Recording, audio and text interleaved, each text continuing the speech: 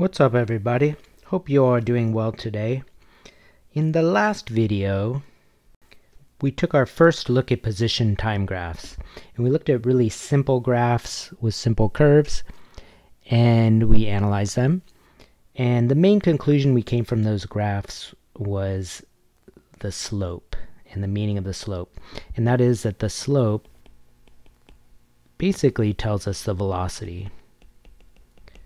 So today we're going to look at a graph that's not so simple, has some curvature to it, and we're going to kind of analyze it in the same way. So here's our graph that we're going to look at today. Uh, I think what I'll do, I'm going to go ahead and zoom in on this guy just so we can get a better picture of what's happening in some various segments. So let's zoom in here. So what I want you to notice first off is that the slope is changing. So for example, if we look at the very beginning here, we can see that there is virtually no slope, right? So remember, this is position over here, and so our position's staying the same. So we would say right here, we're actually, there's like no movement, right? We'd say, okay, let's say there's a zero velocity. But as we move along, the slope starts to increase. So for example, at this location, let's say we have a slope like this, Okay, just for argument's sake, let's say that happens to be 1 meter per second if we calculate the slope in that location.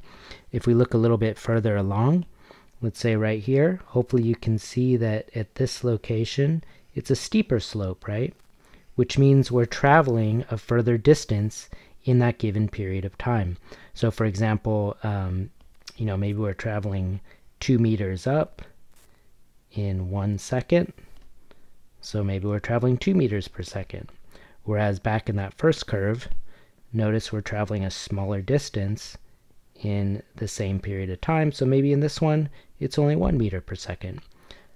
So you can see the slope is increasing with this increasing curve. So say, let's say right here, okay, this is even a steeper slope. Maybe this one is 3 meters per second. Okay, so here clearly with this curvature, you can see that there is an acceleration, right? We're speeding up.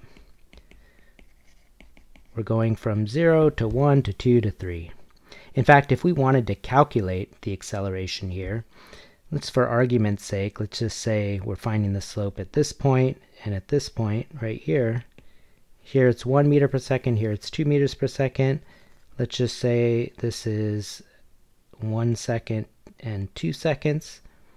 Well, hopefully you can see that we're going from 1 meter to 2 meters per second in a time period of 1 second. 1 to 2 seconds, that interval here would just be 1 second, right? So the increase, or the acceleration, the increase in velocity is 1 meter per second every second, right? So we're going from 0 to 1 to 2 to 3 and again I'm kind of assuming this is would be say three seconds. We're increasing that one meter per second every second. So anyways that curve tells us that there is a, a speeding up situation here. Let's go ahead and take a look at the rest of the graph.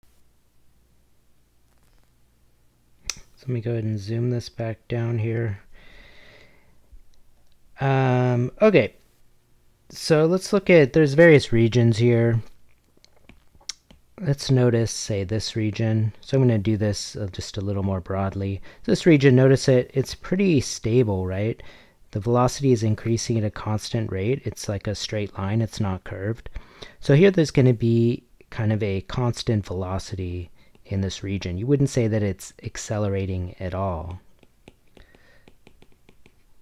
Okay. Here we said it was, say, speeding up.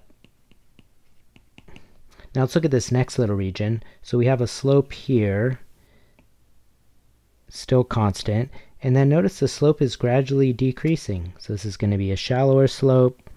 This is going to be even a shallower slope, here. In fact, at the very top, it's going to be a horizontal slope, right? So hopefully you can see that in this region, we're actually slowing down. We're traveling a shorter distance in the same period of time. In fact, at this top where it's horizontal, just like down here where it was horizontal, right here means that it's not moving, that we've actually stopped. And in fact, if you notice, we're now reversing direction. So this region, we're actually going back towards where we started. So we're moving backwards over here. Okay?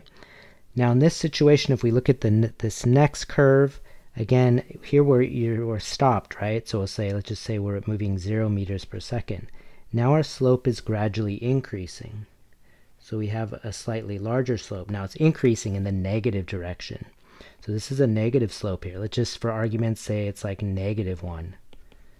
And then this slope is even steeper. Let's say this is like negative 2. So notice that we're speeding up, but we're speeding up in the negative direction. So this little curved region here, we'll say we're speeding up. Okay, we're just speeding up backwards.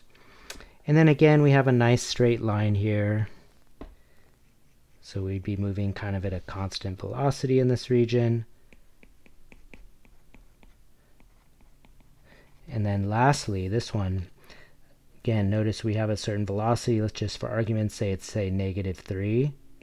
And then now we're going to have a smaller slope and a smaller slope and say a horizontal slope again. So say we're going from like 3 meters per second to maybe 2, negative 2, negative 1, 0, right? So clearly in this region as our slope is decreasing, becoming more and more horizontal, we're going to say that we're slowing down. Okay, I hope that was helpful. Please let me know if you have any questions.